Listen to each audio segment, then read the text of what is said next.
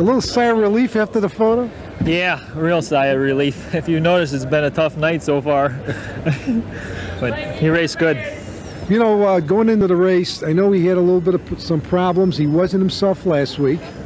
Yeah, he's they're they're battling some problems with him right now, and uh, they've done just a great job to get him here and to get him this far. And going into the race, one thing that surprised me was the odds because obviously a lot of people didn't think so. He went off and paid twenty-two dollars.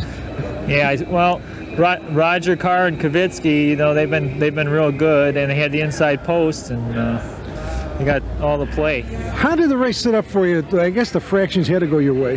Yeah, and, I- and then I, I couldn't get away dead last and have any chance, so I just let the horse float on out of there. And if he got a hole, fine. Otherwise, I know it wouldn't be a couple of steps and there'd be cover for him. So I figured it's better to just get away and try and get away in the middle of the field and uh, sit there while they. Cause you got to figure they're going to go pretty fast on the, uh, trying, you know, changing leads when there's a few horses that think they have a big chance.